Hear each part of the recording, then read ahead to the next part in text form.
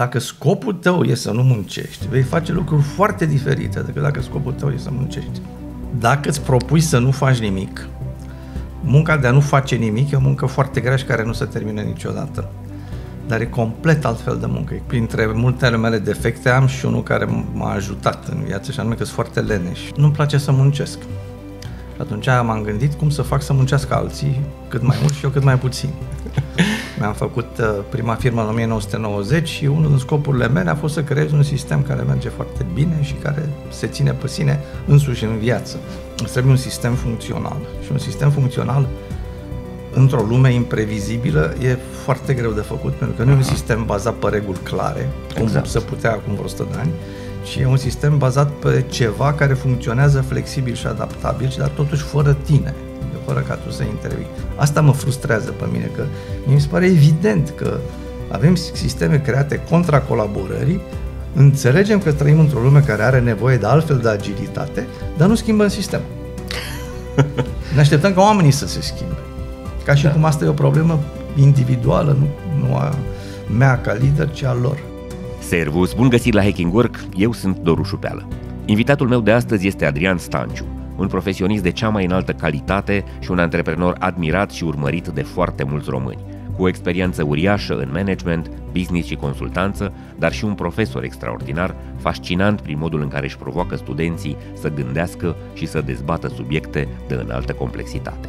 Un om cu experiență practică de peste 30 de ani în zeci de organizații, atât ca fondator cât și ca inițiator și consultant, Adrian Stanciu este astăzi lider în consultanța de strategie organizațională în România și în regiunea est europeană. În același timp, activează ca decan asociat și profesor invitat la Bucharest International School of Management, unde lucrează cu studenții din programul Executive MBA. Adrian este realizatorul podcastului și conferințelor Decoder, reușind alături de Andreea Roșca să producă cel mai valoros conținut educațional multimedia despre management, leadership și business, accesibil tuturor celor care vor să progreseze în afacerile moderne în România. După acest episod, în mod sigur o să înțelegi altfel modul în care se construiesc, se conduc și obțin performanță echipele și companiile.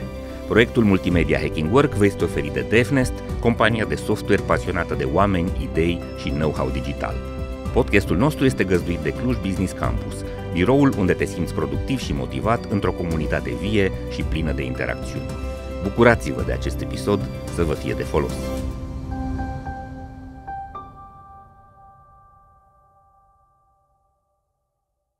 Servus Adi, bun Salut. găsit la Hacking Work! Bine te-am regăsit, Doru. Mulțumesc că ai uh, acceptat invitația noastră și propunerea mea pentru astăzi este într-o uh, dimineață frumoasă de februarie să bem o cafea și să povestim o oră, uh, o oră și ceva despre cele mai spectaculoase sau mai, cum să spun eu, contraintuitive și descoperirile tale despre leadership și management. Ok. Bun. Da. Nu m-am gândit vreodată că spectaculoase, dar... Uh, Eu au, cred că au fost, uh, au fost și pentru mine unele dintre ele, dar cunoscând cum arată peisajul în business și în management, desigur, poate în afara celor uh, zonelor în care uh, noi activăm și mai sfătuim oamenii, sunt foarte multe lucruri care pot să pară șocante pentru foarte mulți dintre cei care conduc business-uri sau okay. dețin business-uri. Prima idee care mie mi s-a părut interesantă și e bună să începem este asta. Scopul unui manager bun este să nu facă nimic. Și noi știm modelul de la noi cu șefii care își suflecă mânecile, haideți băieți să uh, băgăm tare, să vă arăt eu cum se face. Da. Hai să o le explicăm cum, cum ai gândit tu uh, poziția asta. Printre multele mele defecte am și unul care m-a ajutat în viață și anume că sunt foarte leneș. și asta m-a ferit de păcatul perfecționismului, pentru că sunt și perfecționist. Dar m-a ferit de multe din uh, conotațiile lui negative, pentru că nu-mi place să muncesc. Atunci m-am gândit cum să fac să muncească alții cât mai mult și eu cât mai puțin. Mi-am făcut uh, prima firmă în 1990 și unul din scopurile mele a fost să creez un sistem care merge foarte bine și care se ține pe sine însuși în viață. Și am muncit foarte mult la chestia asta. deci nu te-a ieșit chiar din prima. Nu mi-a ieșit niciodată și pe parcursul chestiei astea mi-am dat seama de acest lucru. Că dacă îți propui să nu faci nimic, munca de a nu face nimic e o muncă foarte grea și care nu se termină niciodată. Dar e complet altfel de muncă, e complet, complet altfel de muncă, pentru că e altfel de priorități. Uh, eu dau adeseori exemplu ăsta, mai ales la școală unde predau uh, studenților, um, chestia asta, am din ce în ce mai puține răspunsuri pozitive la întrebarea asta, dar întreb dacă cineva a condus vreodată Dacia 13. Da. 10. Da, e de înțeles. De generația noastră, sigur, mai eu, toată lumea. Eu știu, sigur. Dar din generația lor, din ce în ce mai puțin. Și întreb pentru că e ceva foarte particular la șoferul de Dacia. Orice șofer de Dacia are, o, primul rând, are o șurbeniță mânerul de la portieră uh-huh. și are o liță cu care desfundă jiglere. Uh-huh. Pentru că șoferul de Dacia nu e șofer, e parte din motor. Motorul nu merge fără el. Asta uh-huh. e paradigma managerului implicat. El se simte bine cu el însuși pentru că este parte din motor, că motorul nu merge dacă el nu e acolo. Ori asta e foarte complicat, pentru că înseamnă că nu mai ai timp de șofat. Faptul uh-huh. nu ești șofer, nu ești conducător, ești parte din instalație. Cu cât ai mai multă vaserină pe sub bunghii și ai mâna mai băgată în instalație, cu atât mai puțin îți exerciți rolul de a conduce instalația și îl folosești pe acesta de a, de a funcționa instalația. Ori asta e o paradigmă foarte diferită, e foarte diferit cum te uiți la lucruri. Ehm, dacă ești parte din instalație, una din consecințele imediate este că oamenii devin dependenți de, dependenți de tine. Pentru că de multe ori pe bună dreptate ești mai priceput, ești mai experimentat, înțelegi mai bine lucrurile.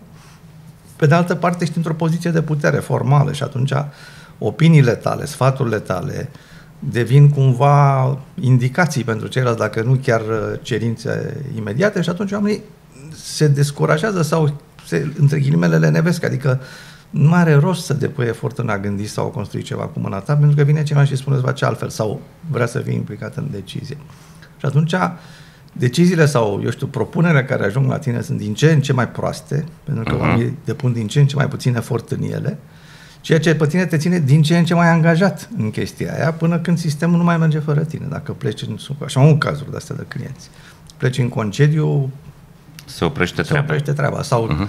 când te dai jos din avion și pornești telefonul, ai 40 de mesaje pe WhatsApp de tot felul exact. de chestii de rezolvat. Munca cealaltă are drept scop să nu faci nimic. Și ca să poți să nu faci nimic, îți trebuie două chestii mari. Îți trebuie un sistem funcțional. Și un sistem funcțional într-o lume imprevizibilă e foarte greu de făcut, pentru că nu e un sistem bazat pe reguli clare, cum exact. se putea acum vreo 100 de ani, ci e un sistem bazat pe ceva care funcționează flexibil și adaptabil, dar totuși fără tine, adică fără ca tu să intervii. E complet altfel de sistem. Și apoi trebuie oameni care sunt capabili să-l populeze. Și aici iarăși sunt două, doi parametri mari la care trebuie, la care trebuie să fii atent. Unul din perspectiva compat, uh, calităților, competențelor lor, iar altul din perspectiva valorilor și relațiilor de lucru dintre ei care să le permită să-și folosească aceste complementarități, că să transformă diversitatea în, în, performanță, în, da, în performanță, în un conflict. Acest episod vă este oferit de DevNest, compania de software pasionată de oameni, idei și expertiză digitală. DevNest este spațiul transparent și plin de oportunități unde oamenii se află în centrul tuturor acțiunilor și proiectelor. Este o comunitate în care descoperi ce te interesează și aprofundezi ce te pasionează. Cuibul în care cresc curajos și în siguranță oameni, cariere și soluții tehnologice. DevNest înseamnă evoluție și dezvoltare. Creăm oportunități, creștem o comunitate comunitate. Munca asta e extraordinar de grea și nu se termină niciodată din două motive.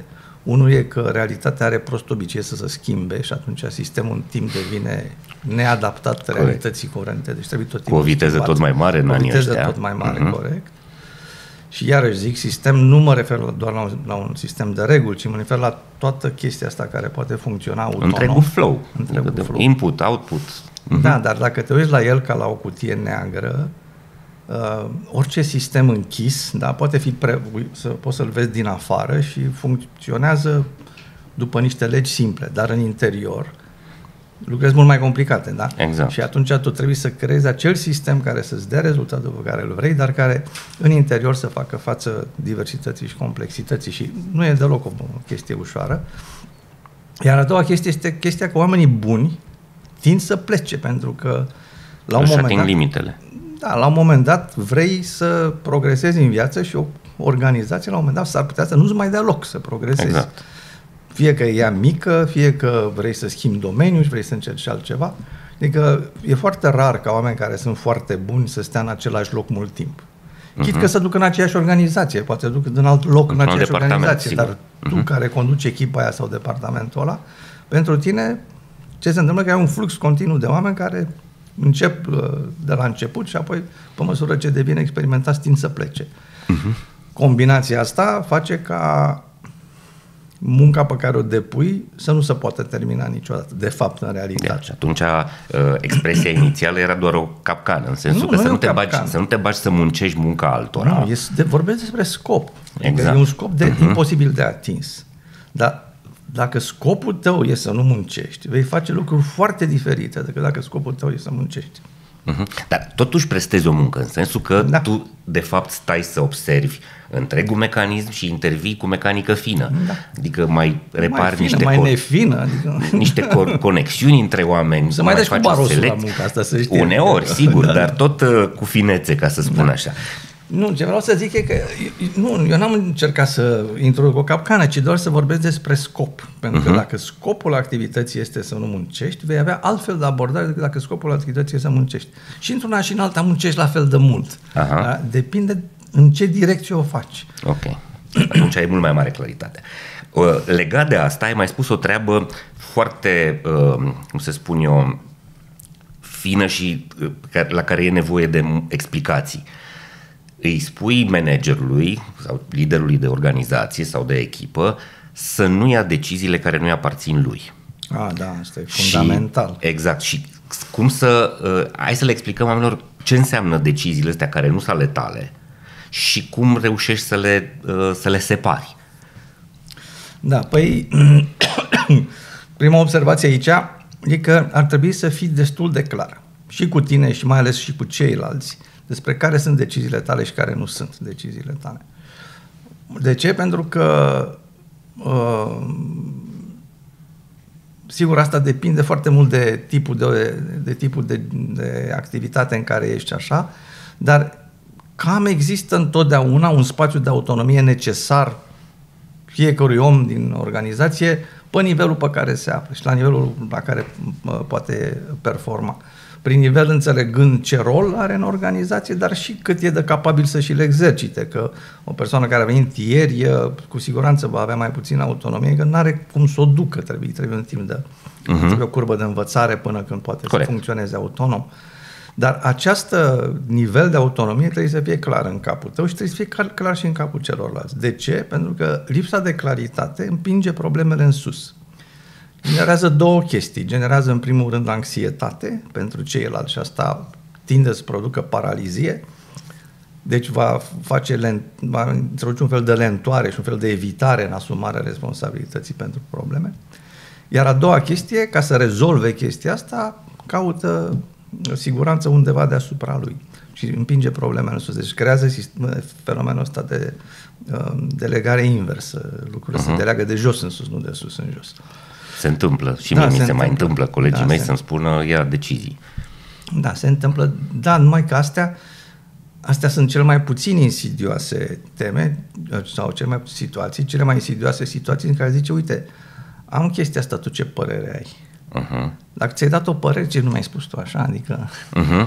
Și apoi... Și într-un astfel de context, tu ca lider mai degrabă porți un dialog cu respectivul și le ajuți să-și găsească singur răspuns. Da, dar ca să poți face asta trebuie să fii clar care sunt deciziile tale și care nu sunt. Uh-huh. Și trebuie să fie clar și pentru ei. Să poți zice, băi, e decizia ta, am încredere în tine, dă-i bătaie. Ca să poți face asta, mai trebuie să înțelegi ceva, ceva ce foarte puțin clienți de-ai mei înțeleg, dacă vreunul. Anume că e o diferență enormă între a lua decizii și a aproba decizii. Ori lumea pe la noi consideră, nu doar pe la noi, ăștia cu care am lucrat, eu mai toți consideră că a aproba decizie e cam același lucru cu a lua decizii. Adică dacă întrebi, ok, ai un rol de control managerial, există chestia asta, e nevoie de ea. Uh-huh. Care e rolul? Adică ce ai de făcut? Păi să, să aprob decizii. Dar ce înseamnă asta? Ca să ce? Să te asiguri că ce sau ce, care-i treaba? Păi să mă asigur că oamenii iau decizii bune. Greșit. Nu poți să te asiguri că oamenii iau decizii bune. Pentru că ăla a lucrat o săptămână la o chestie, ți-o pune ție în față, ca să poți să te asiguri că a luat decizii bune, trebuie să faci și tu munca aia de o săptămână. De, ori dacă ai 10 de ăștia, trebuie să faci munca a 10 oameni. Nu se poate. Scopul tău nu e să ia aia decizii bune. Că atunci care ar fi scopul lor? Adică exact, nu au nimic de făcut. Exact. Scopul tău e să nu ia decizii proaste. Între bine și prost e un foarte mare spațiu de normalitate care nu ți aparține ție, le aparține lor. Adică, cu alte cuvinte, rolul de ăsta de control managerial nu e orientat către a asigura că lucrurile merg bine, ci te asigura că lucrurile nu merg prost. Că nu se întâmplă ceva care pune uh, business în pericol. Uh-huh. Într-un pericol pe care, care nu e acceptabil. Unele organizații au o toleranță mai mare la risc, altele mai mică la risc, unele n-au voie să aibă toleranță mare la risc. Deci există un mecanism care mhm. părzește uh-huh. organizația de riscuri considerate inacceptabile. Ăla e rolul, rolul tău. Dar să fie bine nu e treaba ta, e treaba ăluia care decide. Și dacă nu înțelegi chestia asta, n-ai să știi nici să răspunzi la întrebările alea când cineva îți cere o părere. Uh-huh. Pentru că atunci când îți cere o părere, s-ar putea să ai o părere pe care tu personal o crezi mai bună decât a celuilalt și ai să-i o dai. Dar treaba ta nu e să-l faci pe ăla să ai decizii bune, pentru că atunci o să vină mereu cu deciziile la tine și nu o să mai ai niciodată decizii de singuri. Treaba ta e să nu ai decizii proaste. La fel ca și cu copii, adică treaba nu, nu se ferim de toate pericole, ci alea care îi pot pune în pericol sănătatea. Uh-huh. În rest e ok să mai cadă, să mai julească, să mai dea cu capul. Al minte, nu se poate să-și gestioneze relația și cu lumea. Aici mai apare un factor pe care îl menționezi în carte și care iară poate să creeze dificultate de înțelegere a unor situații. Faptul că de multe ori considerăm că o decizie bună este aia care are rezultate profitabile Bun. pentru noi și că o decizie proastă este una care, da. uh, nu știu, nu ne aduce profitul țintit da. sau poate ne creează și o pierdere. Însă, uh, cum spui tu și tu în carte, uităm că de la decizie până la întâmplare s-ar putea să mai apară o grămadă de factori pe drum. Da, da. Și de e important să, să, să explicăm oamenilor că trebuie să vedem altfel managementul sau altfel relația asta cu echipa și cu businessul. Da, una din teme aici este că tindem să ignorăm sau, da, în mare parte să ignorăm ce rol are hazardul în viețile noastre. Uh-huh. E ceva ce în uh, psihologie se numește eroarea fundamentală de atribuire când ne uităm la calitățile oamenilor, se referă asta, adică tindem să atribuim comportamentele oamenilor în mult mai mare măsură caracterului decât uh, contextului. Ori contextul știm bine, nu mie de experimente, că primează mhm. masiv, uh-huh. adică cam 70% din situații contextul bate caracterul. Ce vreau să zic cu asta este că parte din acest context este hazard, se întâmplă lucruri. Acum, calitatea unei decizii, în primul rând, dacă ne gândim la orice fel de decizie, ea are două componente care ar trebui să fie ținute în atenție. Una este să fie o decizie de bună calitate, adică să fie coerentă, să țină seama de toate informațiile pe care le-ai avut în momentul în care ai luat decizia și apoi să fie puternic asumată de ea care trebuie să o execute, pentru că o decizie, oricât de bună ar fi, dacă e prost executată sau executată fără entuziasm, nu va da Că oamenii nu cred în Dacă nu cred în ea, da, da, e, e foarte ușor o de facem sabotat. de formă, sigur, Da, e foarte ușor de sabotat. Sigur. Întreb oameni dacă au fost vreodată într-un grup în care s-a luat o decizie care nu s-a pus în practică și lumea râde la asta. Adică, păi, da, mi se întâmplă frecvent. Mi se întâmplă tot timpul. Bă, da, cum vă explicați că se poate, că e, nu, e un pic absurd, nu? Adică noi împreună am luat o decizie și nu o punem în practică. Și modelul e waiting for others to act first, adică, bă, hai să vedem, stai un pic. De ce? Pentru că nu sunt foarte convins că e o decizie bună, mă bag eu primul. Hai vedem care se bagă primul. Și dacă toată lumea sau suficient de mult sunt în modelul ăsta, nu se întâmplă nimic, nu pleacă niciodată, nu decolează. Deci trebuie să te uiți la ambele aceste aspecte. Dar chiar dacă ambele aceste aspecte le-ai gândit foarte bine, capacitatea noastră de a planifica cum va arăta viitorul și de a ține sub control toate elementele viitorului e practic nulă. Adică e clar că se vor întâmpla lucruri pe parcurs care vor afecta rezultatul final, la care ne-am gândit la, sau poate de multe ori nu ne-am gândit. Și atunci, ideea asta că dacă mă uit în urmă, o să consider decizii bune alea care au avut rezultate bune și proaste care au avut rezultate proaste, nu o să mă ajute să iau decizii mai bune în viitor. Pentru că nu mă uit la cât de bun a fost decizia, ci de cât de bun a fost rezultat. Dacă, de exemplu, am avut noroc, o să zic, bă, ăsta a mers bine, hai să mai facem, că Da. uite, ne-a mers bine. Da, da, ți-a mers bine pentru Odată, că s-a întâmplat. sigur. Da. Adică nu te uiți la calitatea deciziei, la proces, la asumțiile pe care le-ai avut în momentul în care ai luat decizia, la felul cum s-au desfășurat asumțiile în realitate, la felul cum s-a executat. Nu te uiți să îmbunătățești procesul, ci te uiți pur și simplu la relația liniară între decizie și rezultat. Legat de asta, uh, ar trebui să explicăm cum ar, trebui, cum ar trebui să abordăm relația cu greșeala, cu eroarea sau cu, nu știu, cu nereușita, pentru că se poate întâmpla. De cele mai multe ori, și asta ține și de cultura națională, noi trebuie să împușcăm pe cineva în piața publică. A, s-a ratat, să-l căutăm pe, pe un și să-i dăm cu șina de tren în cap sau uh, cumva să găsim un vinovat, să-l pedepsim pe ăla sau să-l dăm jos pe șeful nu știu care, că uite ce tâmpenie s-a întâmplat acolo. Și treaba asta cumva evident că este toxică și periculoasă și păguboasă, dar uh, impulsul, reacția de impuls uh, primează de multe ori. Cum ar trebui să gândim corect situațiile astea? Pentru că poți să iei o decizie foarte bună și să iasă prost. Da. Sau poți să iei o decizie foarte proastă Și iasă bine. și să-ți iasă bine. Sau poți să iei o decizie proastă și să iasă prost, că nu e nimeni Sigur. perfect pe lumea asta. La naiba. Exact. Problema e în felul următor. Orice mediu care este intolerant la greșeală, și din păcate avem multe medii de astea în România, orice mediu care e intolerant la greșeală introduce un, un factor foarte mare de risc în relația de muncă. Adică, cu alte cuvinte, e riscant să faci ceva. Și uh-huh. e cu atât mai riscant să faci ceva ce n-ai mai făcut sau nu s-a mai făcut, ceva care are o componentă de noutate și, sau de uh, inovație. Ca atare, ce vei face? Vei tinde să devii convențional sau dependent de șefi, adică să întrebi pe ei ce să faci și să te ții în regula aia, ca să te ferești de acest, uh, de acest risc. Pentru că sentimentul devine că nu e mare șmecherie dacă reușești, în schimb dacă greșești, sigur cineva te arată cu deget. Acum, noi măsurăm prin organizații chestia asta cu cum se face cum se face întărirea comportamentelor dezirabile. În general, e numește în, în managementul organizațiilor reinforcement, adică cum întărești ce îți dorești și cum limitezi ce nu-ți dorești. Și deci e o chestie despre combinația între, dacă vrei, între recompense și pedepse, să zic așa. La noi, în practica managerială, se face un exces foarte mare de pedeapsă. Acum e, e, e o curbă de îmbunătățire, dar când am început să măsurăm prima oară, eram cam în percentil la 4 pe lume la chestia asta. Adică 96% din organizațiile de pe lume foloseau mai puțin pedeapsa decât organizația medie din România. Asta produce acest sentiment că e pericol și că de care trebuie să mă feresc. Managerii nu înțeleg asta. Când făceam cu ei debrief despre subiectul, ziceam, băi, uite ce a ieșit din date, îi ziceau, dar și că n-am pedepsit pe nimeni niciodată. Și când îi întreba, dar ce numești pedeapsă? Ei numeau pedeapsă, pedepse administrative, că le-a luat în salariu, salariu. Nu știu uh-huh. Ceea ce era o complicație administrativă pe care o evitau chiar ei, adică nu știu, doreau să o facă.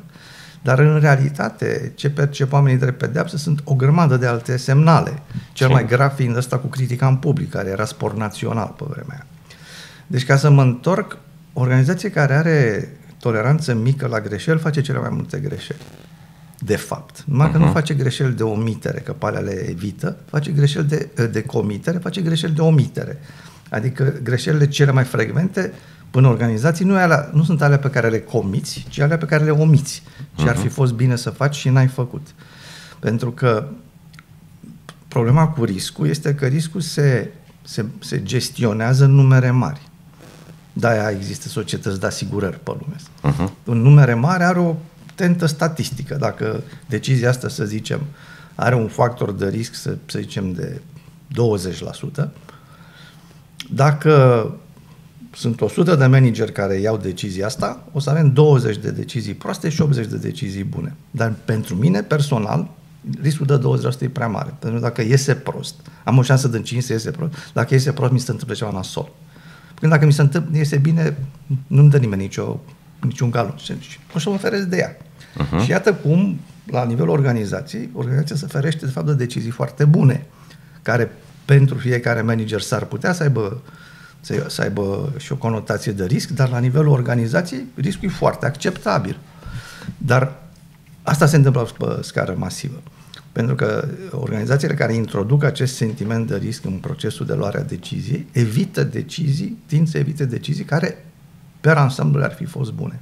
Și asta se întâmplă într-un context în care dinamica schimbărilor din jurul nostru este foarte mare și cumva de aici ești forțat să-ți asumi riscuri și da. să, să testezi și da. poate intri și în teritorii unde o să te arzi un pic, de aici dar măcar descoperi că acolo nu-i cazul să circuli. Da, de aici e problema. Adică dacă pleci de la premiza că uh, ești deschis la schimbare și la risc și la agilitate, atunci, pe de o parte, trebuie să ai o politică despre toleranța la erori ce Sigur. erori poți tolera, ce erori nu poți tolera și de ce. Uh-huh. Pe de altă parte, trebuie să ai o politică de gestionare a riscurilor, adică să, să ai, nu știu cum să zic, să ai o practică de a pilota idei, să ai o practică de a um, nu investiga, de a explicita asumțiile înainte de a intra într-o direcție nouă și apoi de a-ți verifica asumțiile pe parcurs, ceea ce iarăși nu prea să face, adică oamenii se aruncă în decizii de-astea de viitor uh, fără să aibă foarte clar pe ce sunt bazate și fără să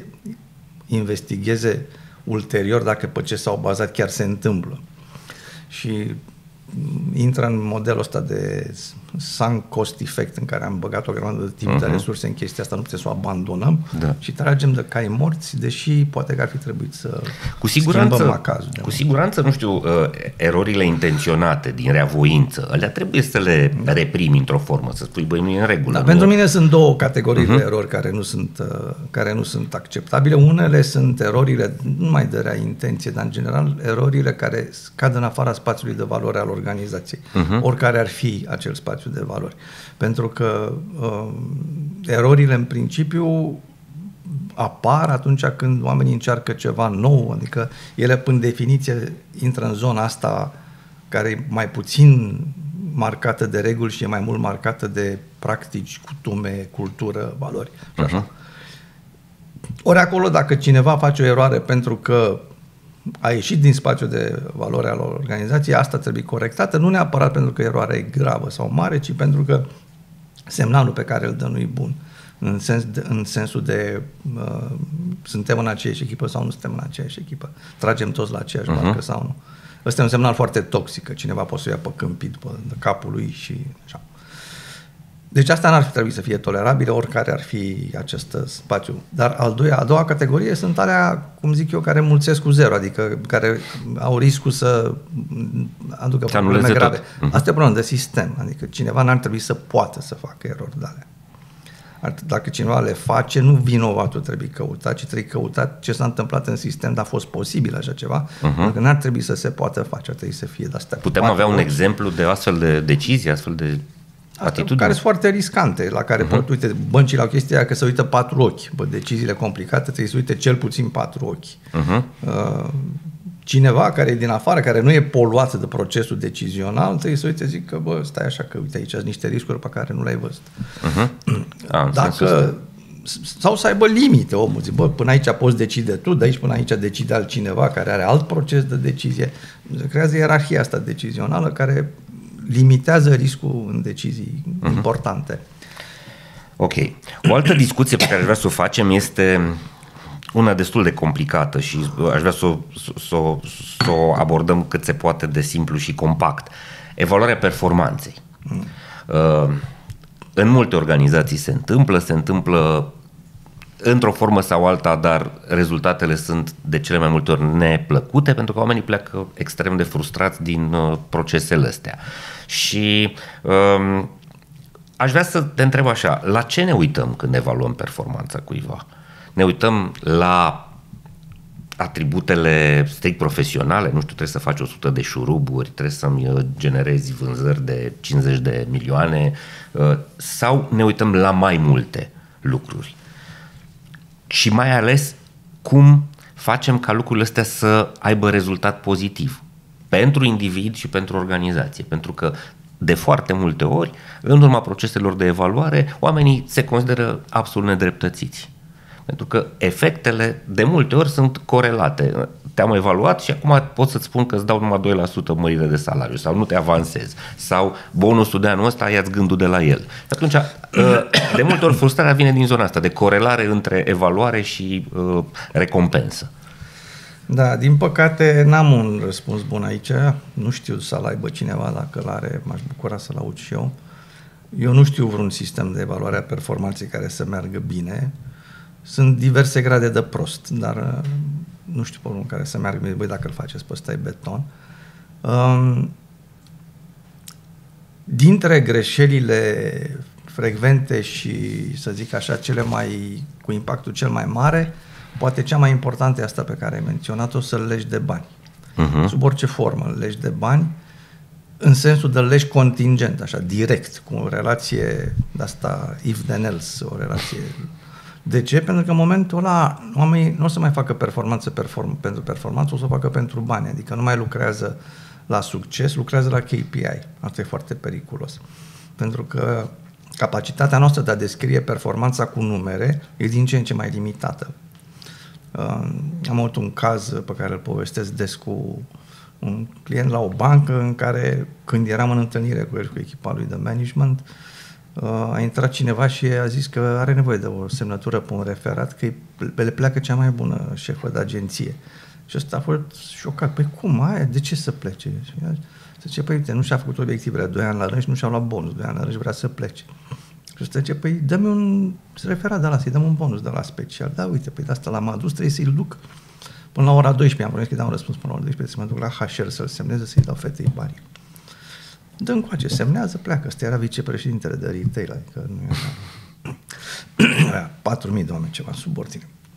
Și zic, bă, stai așa că ne oprim, că am luat o razna.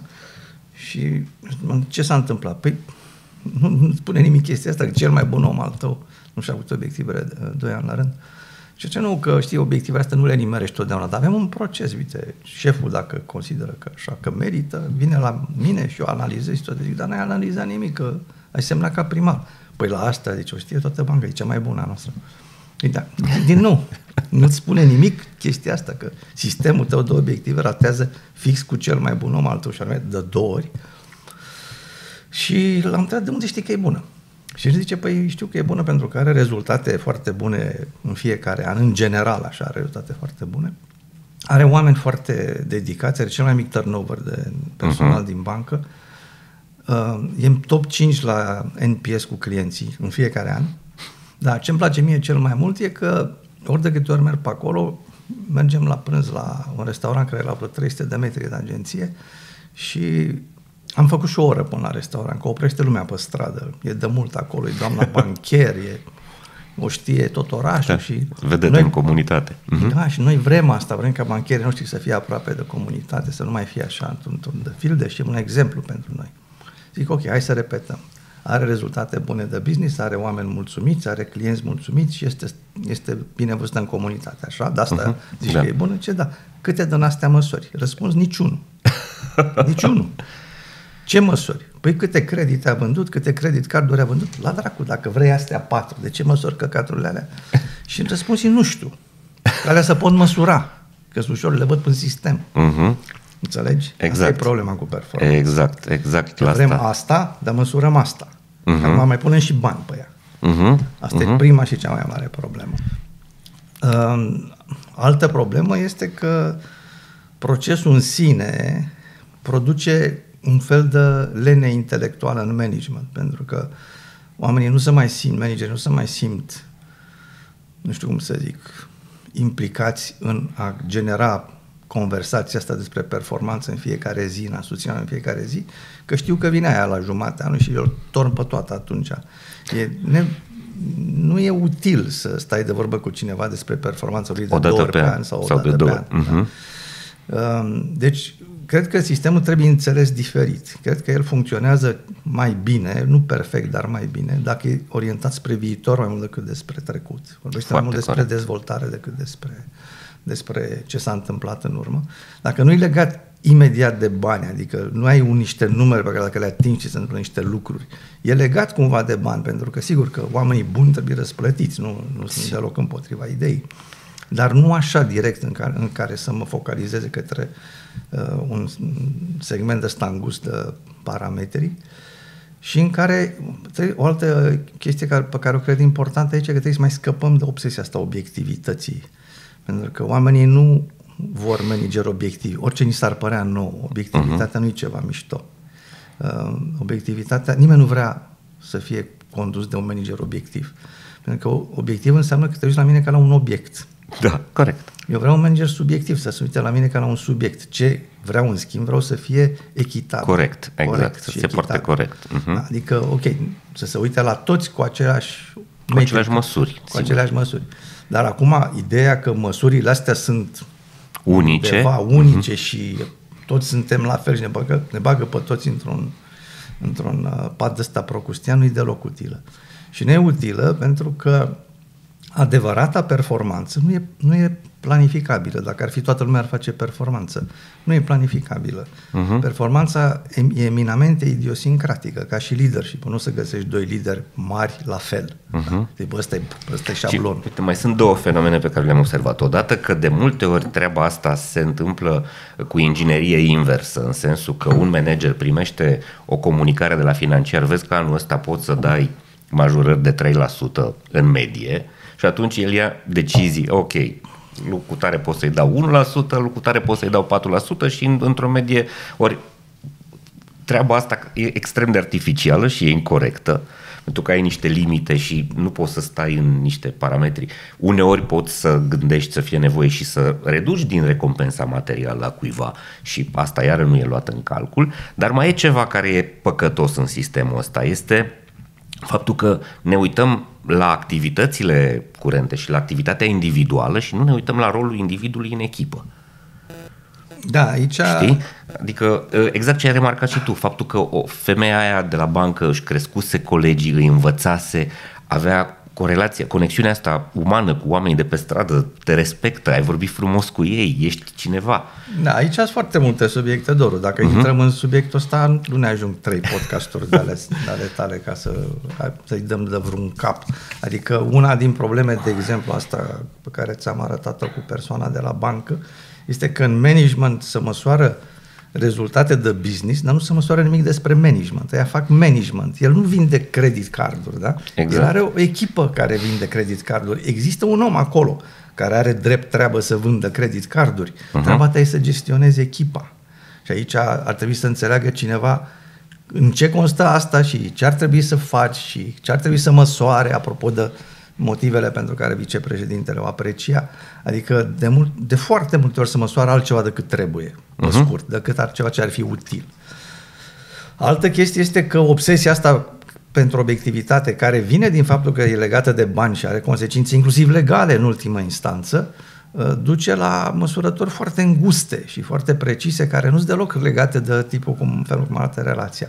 Alte consecințe că introduce ideea că performanța este programabilă, adică inclusiv până la nivelul de calități personale. Îți fac o fișă despre ce competențe trebuie să ai. Băi, dar noi nu avem toți aceleași competențe exact, și asta nu exact. înseamnă că dacă nu avem același profil tras șablon, uh, nu putem fi performanți. Adică tu ai să fii bun la ceva la care eu sunt prost și eu am să fiu bun la ceva la care tu nu ești bun și mai mult decât atât, dacă lucrăm în echipă, ne și completăm reciproc, adică chiar putem găsi o dinamică în chestia asta.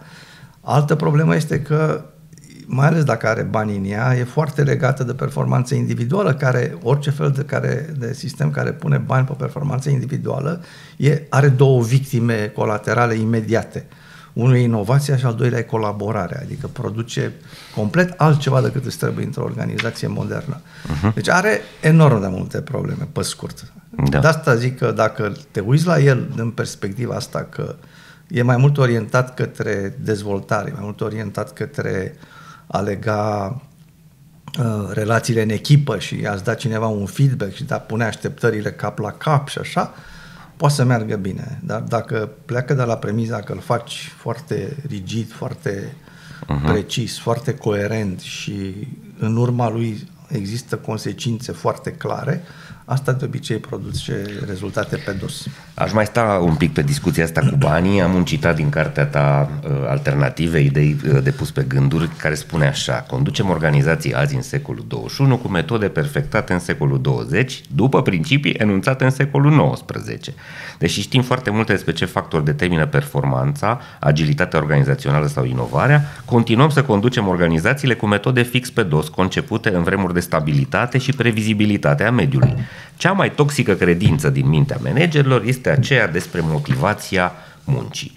Și vedem inclusiv în anunțurile de angajare salariu motivant sau sistem motivant de recompensă. Și tu vii și spui în carte, voi oameni buni, salariul, sau mă rog, recompensa financiară nu este factor de motivație. Salariul nu e factor de motivație, uh-huh. recompensa financiară este. Uh, salariul nu e factor de motivație pentru un motiv foarte simplu și anume că mintea noastră normalizează totul. Asta așa e construită. Noi nu putem să alocăm atenție decât la lucruri care ies din normal. Că dacă am acorda atenție la lucrurile normale, am fi toți într-un spital de nebuni. Nu se poate funcționa așa. Deci noi funcționăm luând cea mai mare parte a deciziilor pe care le luăm într-o zi pe pilot automat, pentru că mintea normalizează lucruri. De pildă, gândiți-vă la cum am, ne-am luat carnetul de conducere.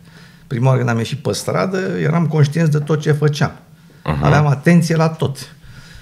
Am început să fim șofer bun când nu mai avem atenție la tot. Sau, de fapt, avem atenție, dar nu atenție conștientă. Da. Și ne putem aloca atenția conștientă la ce ascultăm o carte, vorbim cu cineva, adică putem să facem lucruri altceva decât să fim atenți la conducere. Deci mă întorc. Pentru că mintea normalizează totul, orice mi se întâmplă în mod normal nu mai generează, fenomen, nu mai generează reacții. Uh, chestia asta numește extincție în teoria uh-huh. stimulării asta învățării condiționate. Uh, orice fenomen de ăsta suferă de extinție. Deci dacă îmi dai un salariu mai mare, acum am să mă bucur, să mă mai bucur vreo șase luni, poate, sau mai puțin, poate, și după aia devine normal, e al meu și îl merit.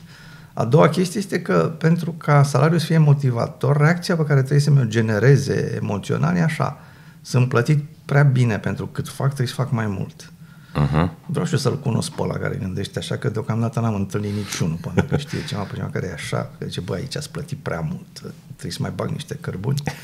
Uh, ăla ar fi un salariu motivant. Acum, ce vor să spună cu salariu motivant? Spun altceva, de fapt, ce e adevărat, ce anume că nu-i demotivant.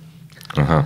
Salariul face parte din acea colecție de factori pe care uh, psihologia numește igienici. igienici. Uh-huh care au importanță doar când lipsesc. Adică când lipsesc în sensul când sunt sub o limită pe care o considerăm normală. Uh-huh. În principiu, la vorbim de salariu echitabilă.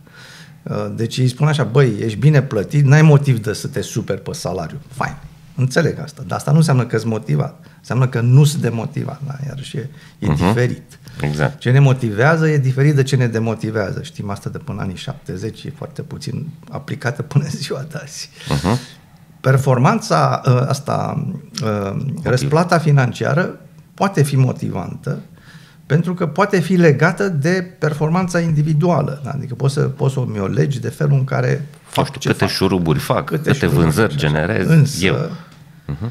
Aici e altă problemă frecventă în motivație, că se pune prea mult accent pe cantitatea de motivație și prea puțin accent pe calitatea motivației. Nu toate motivațiile sunt la fel. Motivația care îți vine din presiuni externe, de astea, mai ales presiuni foarte uh, astea, uh, contingente, adică cu, cu relație foarte strictă și clară, dacă faci aia, primești aia, uh-huh. astea produc motivație, produc motivație foarte puternică. Dar problema lor este că produc motivație fix așa cum le scrii. Fix așa cum le scrii au două efecte. Una că, de fapt, au un efect major. Funcționează ca ochelarii de cal la cal, adică îngustează vederea către ceva. Către obiectiv către financiar. Obiectiv, da. Uh-huh. Asta, dacă, e exact ca la, ca la cai. Uh-huh. Asta este ceva bun dacă calul ăla merge pe un drum și e ceva prost dacă merge la vânătoare în pădure. Că du-te la vânătoare în pădure, pune la cal ochelar de aia și o să-ți rup gâtul precis. Trebuie să ai asigurare bună de viață. Da, trebuie să ai asigurare bună de viață, da. În timp ce dacă merge pe un drum, e ok, pentru că îl ține concentrat pe drum. Uh-huh. Deci, uh, tipul ăsta de, de uh, motivație, motivație prin recompensă, prin recompensă uh-huh. focalizează puternic. Și acum trebuie să te gândești ce, ce consecințe și motivează efortul. Uh-huh. Ce consecințe produce asta? Și o să vezi că prima, prima victimă este agilitate, adică da. nu mai ai niciun motiv, ce e aici, el uh-huh. sunt amenințător, vrei să te concentrezi. Adică ce spui tu este că un astfel de sistem funcționează mai degrabă în organizații focalizate pe exploatare, adică avem un sistem, hai să scoatem maxim din el da. și atunci stăm călare fix pe sau, parametri. Sau în funcțiuni. Exact, exact. Poate nu toată exact, organizația. Exact. Unele roluri, da, oameni care trebuie să, nu da. știu, să dea foarte uh, mult cu ciocanul într-un singur loc uh, constant. Aia funcționează, dar în momentul în care ai un rol în care, sau o organizație care caută oportunități, se uită la da. inovație, încearcă să schimbe, încearcă să rezolve Merge probleme noi, atunci treaba asta cumva uh, îți, îți falsifică... Merge pe dos. Uh-huh. Merge, cu cât pui mai multe de asta, merge mai prost, nu mai bine. Am înțeles. Dar uh, eu nu sunt contra ei, să ne înțelegem. Adică nu vreau să zic că cineva, băi, stai că eu știu cazul în care merge foarte bine. Și eu știu Se cazul în care întâmpla. merge foarte bine. Uh-huh. Zic doar atât. Înțelege că vorbim și de cantitatea de motivație, dar și de calitatea motivației. Și gândește-te ce fel de motivație trebuie pentru felul ăsta de muncă. Și apoi puneți întrebarea să bași cărbuni, pentru că să bași cărbuni în ceva care te duce în direcția greșită nu e o șmecherie, știi? Uh-huh. Adică Mai ai un exemplu în carte care menționează cazul unor, unui, unei divizii de vânzări, care avea uh, procente de recompensă tot mai mari în funcție de vânzări și de la un punct încolo nu mai funcționa. Da, nu mai funcționează, da. De ce? Păi e același lucru, că de la un punct încolo se normalizează lucrurile. Uh-huh. Că nu mai Oamenii se obișnuiesc cu da, un venit dar, care le convine? Dar problema e așa, Doru. Hai să o punem invers. Ai o de asta, ai tot dat în ea, la început merge bine, după un timp tinde să se normalizeze, mai mult decât atât, după un timp oamenii încep să înțeleagă cum să exploateze sistemul. Una din consecințe este că toată lumea are un interes investit să tragă bara de performanță în jos, ca să uh-huh. nu le mhm. crească targetul. Adică uh-huh. au un mhm. interes investit să, să nu le pui obiective mari. Adică nu e o șmecherie să faci mult în organizații de astea, pentru că faci mult crește targetul. Vrei Aha. să faci suficient de mult cât să câștigi bine, dar nu atât de mult încât să-ți crească targetul. Um, asta e una din consecințe. Dar altă consecință asta că în timp înveți să manipulezi sistemul, nu-l manipulezi, să-l folosești și oamenii încep să-și ia bonusurile alea regulat. Eu mi întreb studenții când vorbim despre subiectul ăsta la școală, întreb câți din voi sunt pe un model de ăsta de plată contra performanță, sunt câțiva, din ce în ce mai puțin, în fericire, și câți dintre voi vă luați bonus în fiecare an, toți ăștia, bine, sunt oameni buni care vin la noi la școală, toți își iau bonus în fiecare an și întreb, ce faci cu el? Și la asta râd, zic, ce să fac? Îl cheltui. Da, dar asta e o problemă, pentru că îl cheltui. Ceea ce înseamnă că face parte din stilul tău de viață acum. Plătești școala Aha. copiilor, plătești chiria la casă, da? Ceea ce înseamnă că nu-ți mai permis să nu-l mai ai. Ceea ce înseamnă că ce vrei la începutul anului nu e să-ți iei bonus, ci să nu-l pierzi. Ori reacția noastră la pierdere e de trei ori mai puternică decât reacția la oportunitate. Deci ceea ce ai creat e un sistem încărcat de frica de a pierde bonusul. Uh-huh. Ce fel de reacție generează frica? Foarte fight, conservator. Flight or freeze. Uh-huh. Adică generează uh, o reacție care mă focalizează să fac tot ce pot, să pun efort pe căile bătute ca să nu-mi pierd bonusul. S-a dus colaborarea, s-a dus inovația. Înțelegi? Ăsta e mecanismul în care se duc colaborarea și inovația. Uh-huh. Da. Da, legat de asta cu inovația, ai o afirmație care iară poate să pară uh, surprinzătoare. Trebuie să ne străduim să intrăm în interacțiuni cu dorința de a ne schimba punctul de vedere. Normal. Nu de a veni să impui cuiva, bă, așa e și eu așa cred. Nici și tu măcar trebuie să... să-l impui, să-l convingi. Așa, așa, așa. Asta e o, o, o perspectivă cumva foarte în linie cu ce ni se întâmplă în ultima vreme, adică schimb, regimul ăsta de schimbare continuă, de evoluție și cumva mintea ar trebui să o pregătim în direcția asta, să gândim critic. Ceea ce era o convingere fermă al altă, ieri s-ar putea ca astăzi să fie o zonă de dubii. Mă, s-ar putea să nu mai fie așa. Nu? În sensul ăsta o, o propui tu. Da, și în sensul ăsta, dar și într-un sens, dacă vrei, filozofic mai general. Adică dacă eu și cu tine avem o discuție și purtăm o discuție, să zicem, unde avem opinii diferite, dacă scopul meu în discuție este conving de opinia mea, asta înseamnă că îmi voi petrece timp și resurse și efort ca să ies din conversația asta cu aceeași părere, părere cu care am intrat. Uh-huh. De ce? Adică la ce mă ajută chestia asta? Dacă te uiți cât de mult efort depun oamenii să facă chestia asta și te întreb, dar la ce ajută? Trebuie să-i ajute la ceva, că al e complet dement. Uh-huh. Și singurul răspuns coerent este că te ajută la, la ego. de sine. Da. da. Uh-huh Ceea ce înseamnă că eu cu tine nu lucrez ca să devin eu un om mai bun, ci ca să-mi hrănesc monstrișorul ăsta de aici. Pui mei, adică hai să facem ceva, ceva util cu viața noastră, nu? Uh-huh. Pentru că dacă intru, dacă eu aș intra în, în întâlnirea asta cu gândul, băi, mă văd cu Doru, Doru e un om deștept, Hmm. Orice spune, s-ar putea să fie bun. S-ar putea. Nu spun că e bun. Că dacă e bun, iar nu ești pe o linie care e utilă, pentru că înseamnă că tu n-ai nicio părere a ta și nu ești în stare să gândești critic nimic.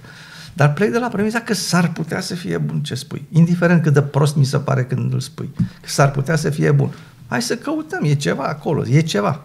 Ce pot eu să iau din întâlnirea asta? Petrec jumătate de oră cu Doru. E ceva ce plec și eu îmbogățit de acolo, este cu ceva din chestia asta. Și euristica pe care o propun eu studenților mei, care e foarte ușor de spus și greu de făcut, este că atunci când argumentezi, argumentează ca să convingi, dar când asculți, ascultă ca să fii convins. Adică ascultă cu gândul de a schimba părerea.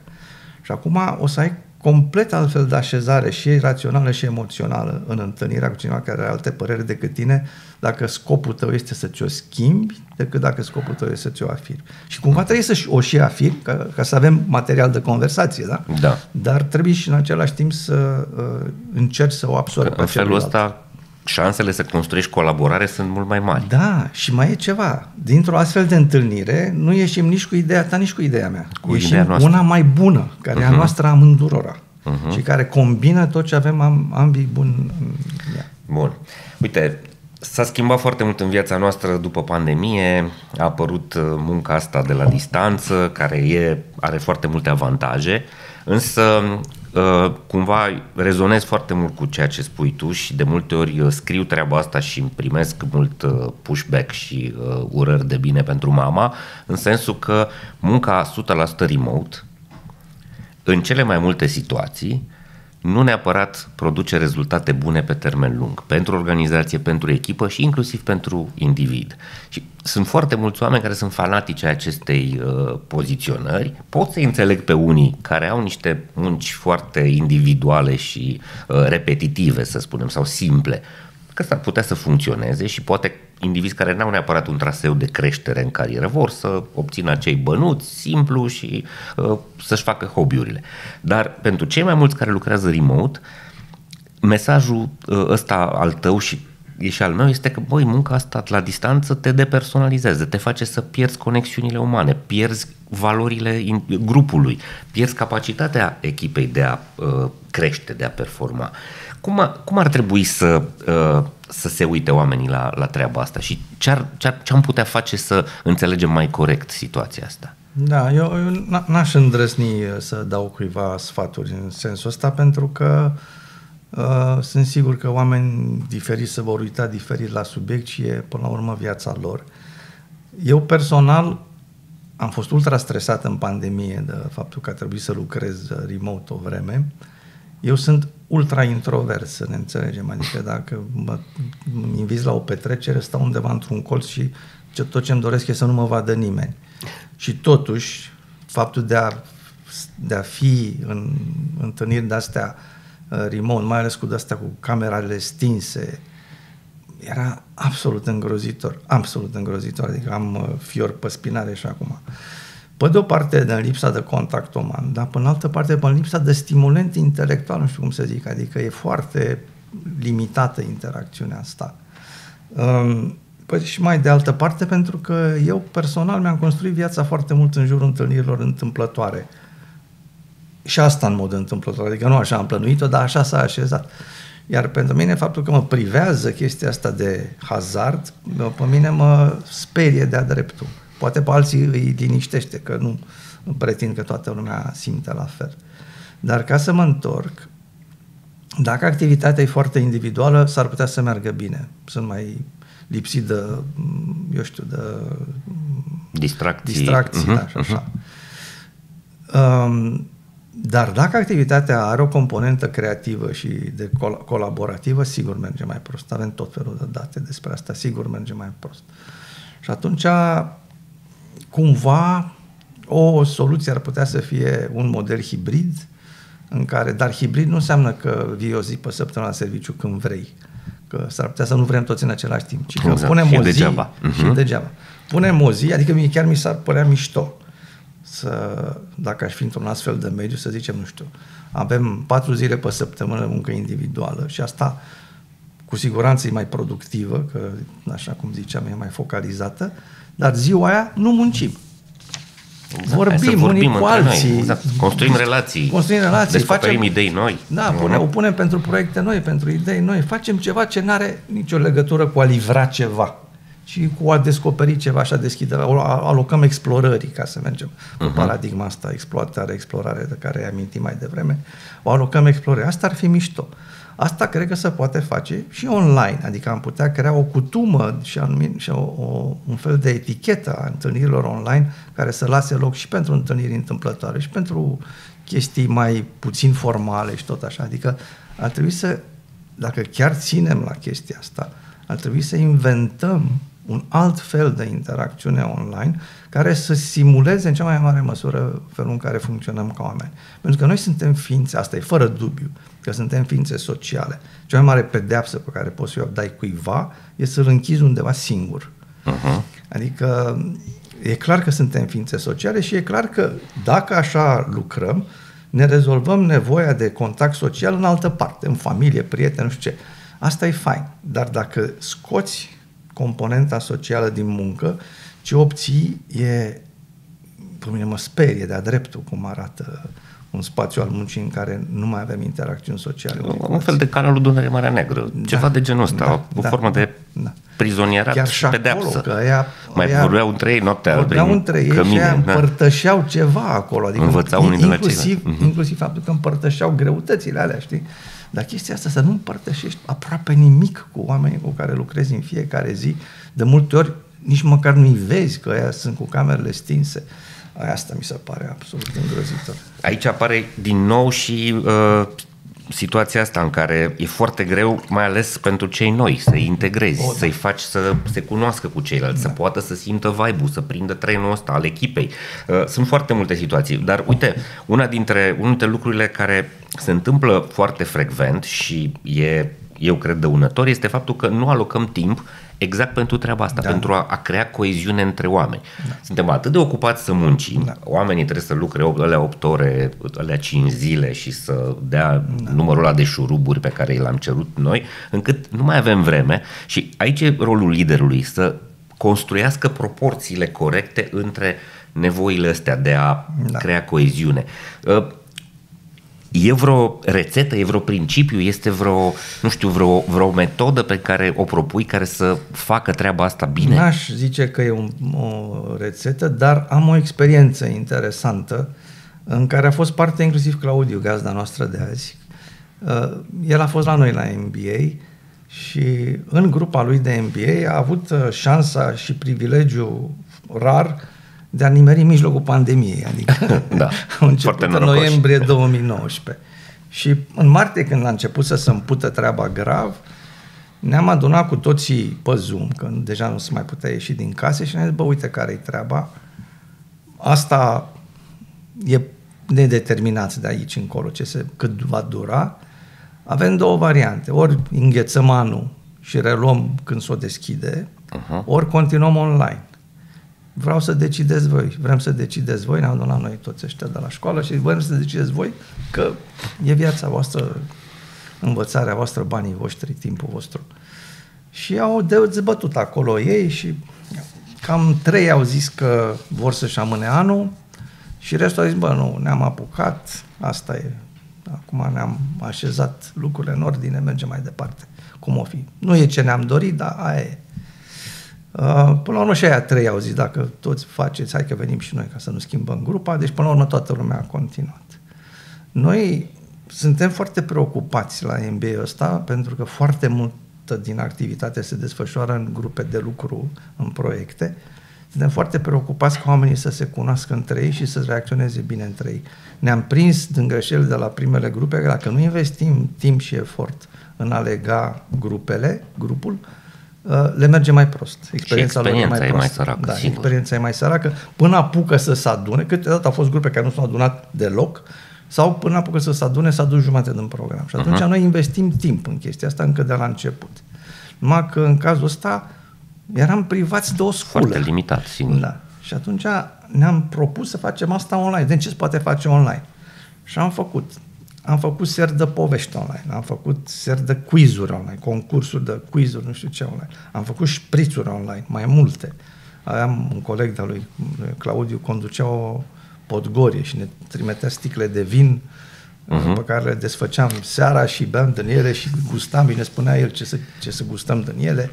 Am făcut tot felul de jocuri de societate online, după care ei înșiși au preluat chestia asta, să mai întâlneau online informal pentru chestii. Au fost cea mai bine legată grupa noastră. Exact pe modelul ăsta cu, ziceai, cu canalul, că au trecut pentru o chestie grea împreună și au găsit niște metode să o surmonteze. Ce am învățat în chestia asta este că trebuie să ai intenționalitate uh-huh. pe mhm. crearea dinamicii în grup. Nu să nu mai lași la întâmplare. Într-un mediu offline poți să o lași oarecum la întâmplare, că e parte... Te mai întâlnezi la automatul da, de parte, apă. Da, e parte din, din dinamica mai normală. Mai la o bere seara, da, da, în drum către seara, casă. Da. Uh-huh. Dar uh, trebuie să ai atenție pentru asta. Da, trebuie să-i dai atenție și intenție. Exact. Și să-ți dai seama că uh, intensitatea și calitatea relațiilor dintre uh, componenții echipei produce rezultat în business. Da în sensul că pot să fie mai creativ, da, pot da. să vină cu idei, pot să aibă mai mult curaj, pot să-și da. asume mai multe riscuri da. și să descopere lucruri bune, uh, pot să se apere sau să, mă rog, să, uh, să se ajute când intră în dificultate, toate da. lucrurile astea. Bun, Adi, încheiem uh, cu o întrebare mai generală și foarte amplă, dar o să te rog să faci un, un, un răspuns comprimat. Am, am ascultat cam toate episoadele voastre de Decoder. Am citit mulțumesc. cartea asta. Uh, eu mulțumesc și cred că toată lumea care le ascultă mulțumește pentru că este uh, învățătură prezentată ușor de înțeles, digerabil, uh, cu argument. Ai vorbit despre rolul conducătorului, liderului, ca un garant sau un paznic sau un, uh, uh, da, un paznic al binelui comun. Multă lume vede rolul conducătorului ca pe uh, Ștefan cel Mare, sau mă rog, Mihai Viteazu, călare pe cal, băieți, hai să-i măcelărim pe ăștia, hai să suntem la un război, uh, o să moară unii dintre voi, uh, aia e. Uh, foarte mulți dintre antreprenori, foarte mulți dintre manageri încă văd treaba asta ca pe un, o postură superioară care folosește oamenii ca resurse, ca așa îi spunem departamentului, resurse umane și care nu înțelege că rolul este un rol de a avea grijă de oamenii ăștia. De unde vine schimbarea asta și la ce folosește ca să cumva să le dăm, uh, să le dăm înțeles? Ma, o să dezamăgesc, de eu n-am folosit cuvântul grijă. A, ok. Pentru că binele comun nu e bazat pe grijă, e bazat totuși pe a face ceva împreună. Uh-huh. Adică uh, eu sunt foarte capitalist, să știi. Să ok. Și, și nu sunt deloc în modelul ăsta în care rolul organizațiilor să facă oamenii să se simtă bine. De acord, de acord. Cred că rolul organizațiilor este să facă ceva pentru lumea exterioară lor. Ele au un rol social, dar nu în sensul în care folosim adeseori cuvântul social, ăsta bazat pe compasiune și griză, ci în sensul că rezolvă o problemă a unui număr suficient de mare de oameni exact. ca să existe. Da? Deci uh-huh. au, au un rost pe lume. Rostul ăla trebuie ținut viu.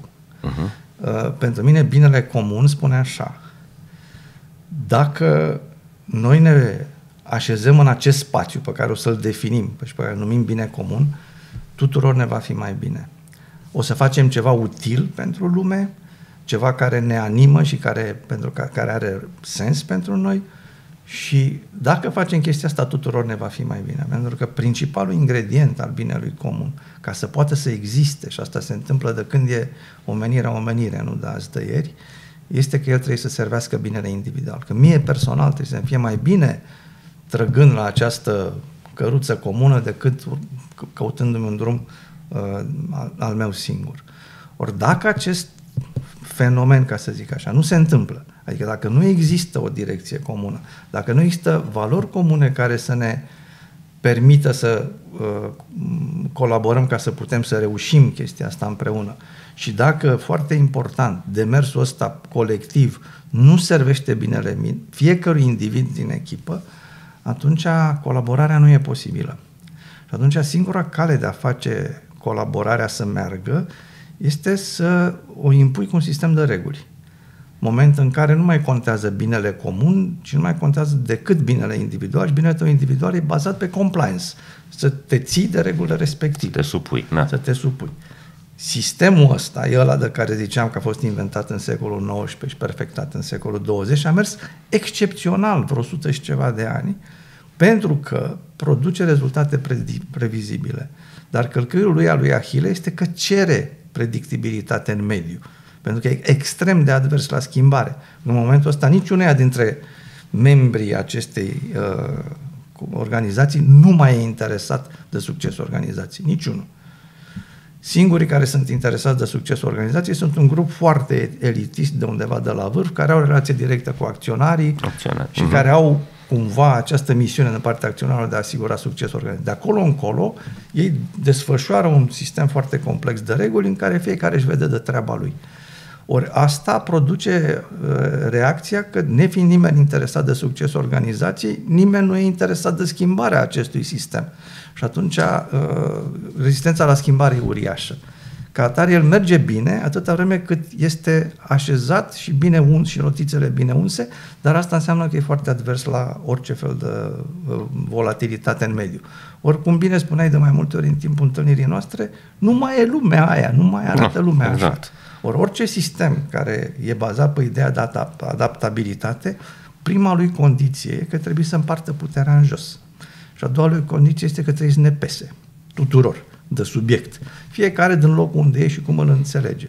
Ori ca să faci chestia asta, trebuie să existe noțiunea asta de bine comun. Nu e singurul lucru care trebuie să existe. Dar e primul și cel mai important. Trebuie să existe un bine comun. Trebuie să putem defini un bine comun. Eu am această conversație deseori cu oameni cu care lucrez și care îmi vorbesc despre echipele lor. Și întreb ce numesc o echipă. Hai să vorbim ce numești o echipă. Ce e o echipă pentru tine? Și apare foarte repede această chestie că prima condiție, probabil nu singura, dar în orice caz prima și esențială, este că un grup de oameni care au un scop comun, își doresc același lucru. Și întreb ăștia de-i numește echipa ta, ce își doresc împreună? Și răspunsul 90% în cazuri e nimic.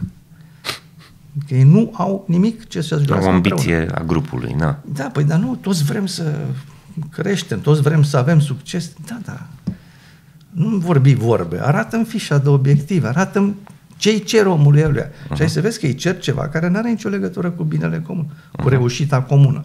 Și a doua întrebare pe care le-o pun e așa.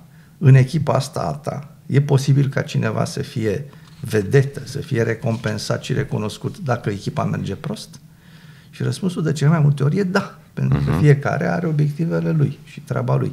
Da, dar în momentul ăsta ai distrus noțiunea de bine comun, pentru că iată că dacă mi urmez scopul meu individual, nu mai contează scopul comun, pentru că eu sunt pot să mi-l ating pe al meu uh-huh. și măcar nu sunt versus. Nu mai contează. N-am uh-huh. ceva contra lor, n-am ceva nici pentru ei. Nu, sunt, nu, e, nu mă simt parte din chestia asta. Deci iată cum ai practic distrus noțiunea de echipă în momentul ăsta. E fain că uzinele de asamblare lui Henry Ford nu erau echipe, erau niște grupuri de oameni care scoteau pe partea altă o mașină. Dar acceptă că ai creat un sistem care nu poate colabora. Și nu le mai cer oamenilor colaborare, nu te mai frustra, nu mai frustra și nici pe aia. Sau dacă vrei colaborare, gândește-te și schimbă dracului sistemul, că ăsta nu are cum să producă colaborare vreodată. Asta mă frustrează pe mine, că mi se pare evident că avem sisteme create contra colaborării, înțelegem că trăim într-o lume care are nevoie de altfel de agilitate, dar nu schimbăm sistemul. Ne așteptăm ca oamenii să se schimbe.